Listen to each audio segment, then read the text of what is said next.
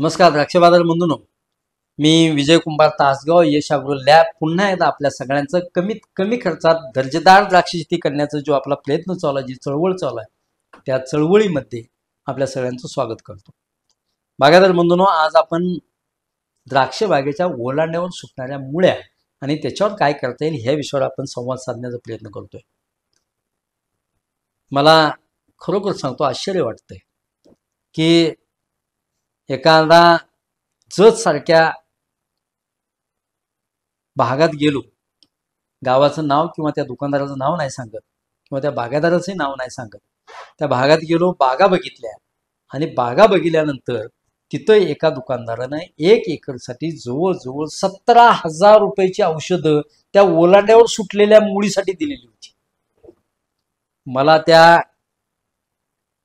बागायतदाराचं विशेष कौतुक वाटलं की किती मोठा खर्च आणि अनावश्यक खर्च असे बागायतदार करतायत आणि स्वतःच्याच हातानं स्वतःच्याच पायावर धोंडा कसा मारून घेत आहेत किती साधी गोष्ट असते हो. बागायतदार बंधू इतकी साधी समज जर आपल्याला द्राक्ष बागेच्या बाबतीत नसेल तर मग आपण बाग लावायची का? हा मोठा प्रश्न पडतो. आणि मग पुन्हा द्राक्ष बागेच्याच नावानं काय करतो आपण आपल्या सगळ्याला माहिती आहे. बागायदार बनतो ह्या मुळ्या ज्या सुटलेल्या असतात पीक पोषणातलाच हा एक भाग आहे.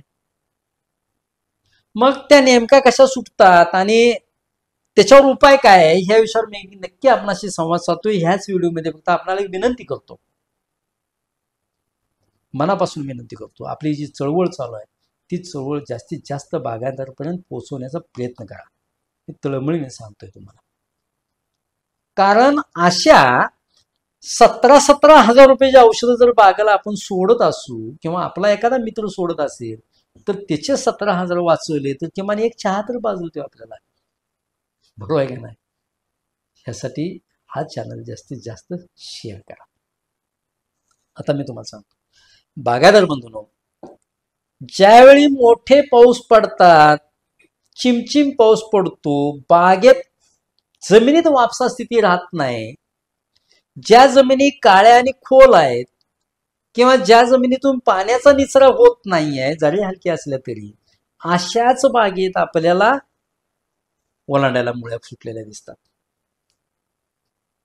जिथं मुळी चांगली चालत्या जिथं निचरा कंडिशन चांगली आहे अशा बागेत आपल्याला ओलांड्यावर मुळ्या दिसत नाहीत. ध्यानात घ्या. मग हे आता माझ्यासारखा शहाणा बागायदार म्हणतो की मी अमुक अमुक सोडलो होतो त्यामुळं माझ्या बागेत मुळी सुटली नाहीये. मग त्या औषधाची पुन्हा जाहिरात. संबंध कशाचे आहे? बागेच्या मुळीतल्या पाण्याचा निचरा आणि तिथं असलेल्या हवेशी संबंधित आहे. त्याचा आणि ह्या शाण्यानं माझ्यासारख्या शाण्यानं जे बाजारात आणून जे खत सोडलंय टॉनिक सोडले त्याचा आणि त्याचा काय संबंध नाही. मुद्दा समजून घ्या.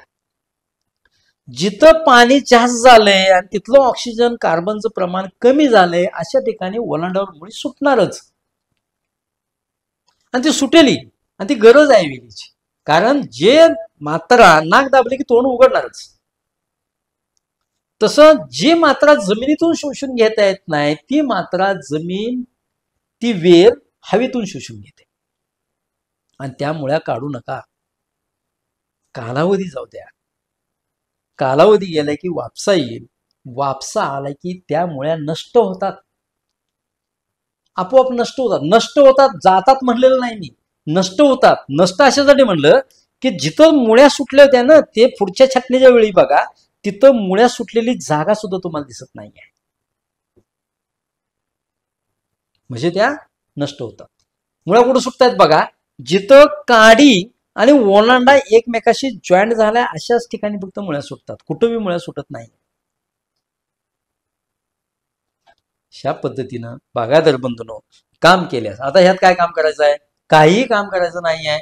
फक्त मुळ्या सुटतेत किती सुटतेत एवढंच फक्त बघत बसायचं आहे. आपोआप त्यात जात आहेत हेही फक्त बघत बसायचं आहे. बघत बसणे हेच एक काम म्हणजे ज्या बागायदाराकडे पेशन्स आहेत